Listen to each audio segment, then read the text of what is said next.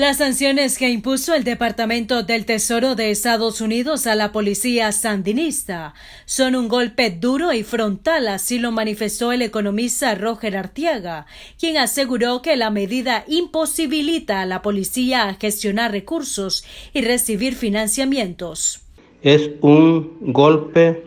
duro, frontal y a la yugular de esta institución que dejaría sin posibilidad de gestionar recursos, manejar operaciones bancarias, recibir financiamiento, al ser sancionado también tres miembros de la policía que han tenido mucho que ver en los atropellos, el jefe del Chipote, el jefe de operaciones especiales y el comisionado Valle que ha reprimido en Managua. La gran pregunta es, ¿qué hará ahora el BESIA que ha estado fondeando a esta institución acusada de haber asesinado a más de 350 ciudadanos nicaragüenses? El exdiputado opositor Eliseo Núñez señaló que las multas que impone la policía ya no podrán ser pagadas a través de ningún banco las que va a sentir el pueblo de Nicaragua es pues, el tema de las multas. Eh, no, después del 6 de mayo no van a poder ser pagadas a través de ningún banco. Eh, y, este, y también pues para la policía misma, eh, los policías de línea, el tema va a ser de cómo les pagan, pues va a tener que pagarles en efectivo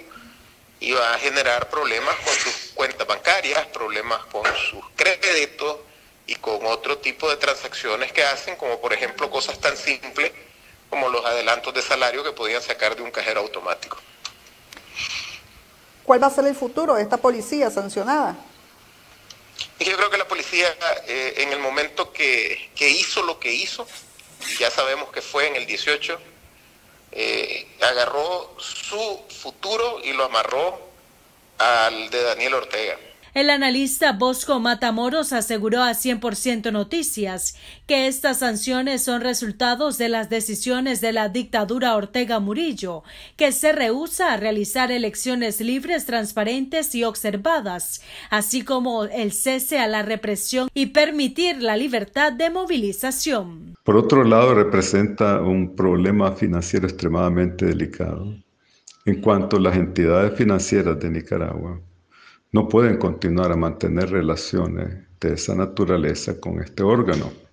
salvo que quieran correr el enorme riesgo de perder la corresponsalía por una parte con las entidades bancarias norteamericanas, que son la clave del sistema financiero internacional, por una parte, y por otra parte eh, de, eh, de ser multadas por el Tesoro norteamericano. Al mismo tiempo, ningún banco norteamericano, en su sano juicio, va a tratar de correr el riesgo de que lo sancione o le imponga una multa al Departamento del Tesoro de los Estados Unidos. Por lo tanto, vemos un aislamiento eh, eh, eh, gravísimo de parte de la policía de Nicaragua en consecuencia de estas sanciones. La otra cuestión es cómo va a llevar a cabo operaciones, es decir, adquisiciones de suministros, de equipos, de cuáles países y de cuáles entidades, y cuáles entidades le han prestado créditos o préstamos para suministrarle esos equipos.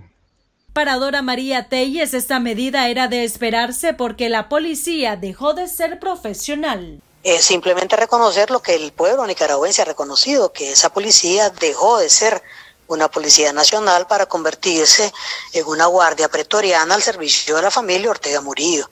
y una, un, un aparato armado que tal al servicio de una familia carece de total legitimidad y ahora desde el punto de vista internacional carece de total eh, legalidad. Va a haber cese de toda eh, transacción bancaria con la institución, de toda eh, transacción en, digamos, en el sistema financiero nacional de importación o exportaciones que pasen por territorio de los Estados Unidos dirigidas eh, a la policía de compra o venta de materiales originados en los Estados Unidos que pueden llegar a la policía. Es decir, estamos hablando de un bloqueo eh, total. El Departamento del Tesoro de Estados Unidos señaló que la policía sandinista es responsable de participar en escuadrones de la muerte, así como de llevar a cabo ejecuciones extrajudiciales, desapariciones y secuestros. Para 100% Noticias, informó Leticia Gaitán. Vamos, vamos, vamos.